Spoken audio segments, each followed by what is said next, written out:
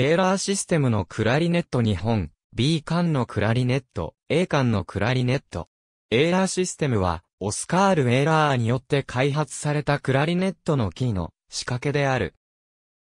ミュラーシステムのクラリネットを基礎として、イントネーションと音響上の欠陥等を補正するために、男を追加した。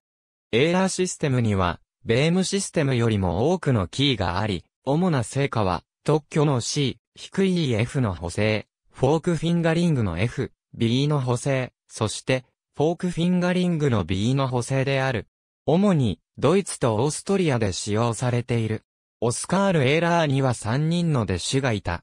フリードリヒ・アルトゥール・ユーベル、ルートビヒ・ワルシェウスキー、カール・フリードリヒ・トートである。ユーベルとトートは、伝説的になるほど有名なドイツのクラリネット制作者である。ウワルシェウスキーは、ストックホルムに移住して、ストックホルムフィルハーモニックのソロクラリネット奏者になった。ウワルシェウスキーは、ハンシアゲのユーベルのクラリネットを買い、ボアと機械学徒に取り組んだ。ウワルシェウスキーのクラリネットは、例えば、ディーター・クレッカーのような有名なクラリネット奏者たちに使用された。ユーベルのクラリネットは、カール・ライスターが、ベルリンフィルハーモニックに初めて参加した時に、ライスターに使用された。後に、ライスターは、バーリッツァのクラリネットに乗り換えた。